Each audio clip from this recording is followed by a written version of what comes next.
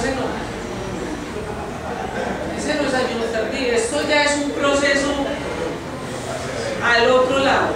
O sea, esto por ejemplo se da en una anorexia, pero también lo van a ver en sus pacientes con neoplasia. Un paciente con cáncer, ¿cierto?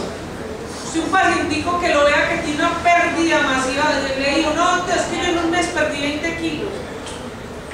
Póngale atención porque por ahí ya hay y no, es que yo era así más bien como rellenito y de pronto usted ve el paciente así.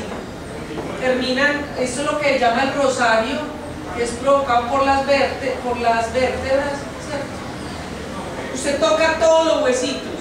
Usted ve que en la pelvis, en el, en el, en el hueso pélvico, cuelga, el, cuelga el, la piel. Entonces, eso es porque como están en un, proceso neoplásico, hay mucha proliferación celular, se está gastando ¿qué? Mucha proteína, ¿cierto? Entonces, básicamente, o que eso lo pregunten en el examen. Y en pediatría volvieron lo preguntan y no saben. Confunden cuachorco con marano. Para que el cuachorco se da sobre todo en los niños después del destete.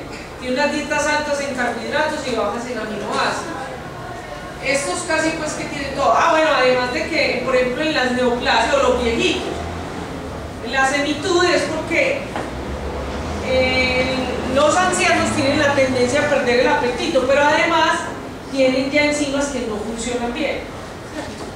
Bueno.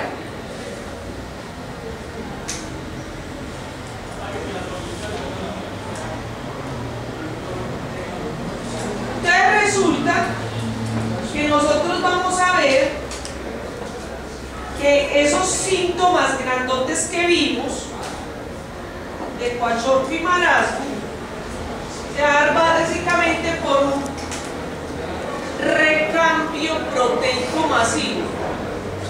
Recambio proteico masivo. Ya vamos a terminar la clase. Terminémosla acá pues le voy a contar unas cositas entonces para que lo estudien. No va a haber hoy eh, están hoy muy cansaditos, muy soñolientos, no vamos a perder el tiempo. Entonces, básicamente, ese recambio proteico utiliza unos mecanismos para hacer esa, ese recambio proteico. Entonces, básicamente, eso va a estar representado por las proteasas intracelulares, la ubiquitinización, vamos a ver una enzima que llama la ubiquitina, ubiquitinización o que eso también lo pregunte en el examen, esos tres procesos. La oxidación de residuos aminoacídicos, las secuencias PES, los residuos amino, eh, aminoacídicos eh, N-terminal y ya estas son las reacciones de transaminación.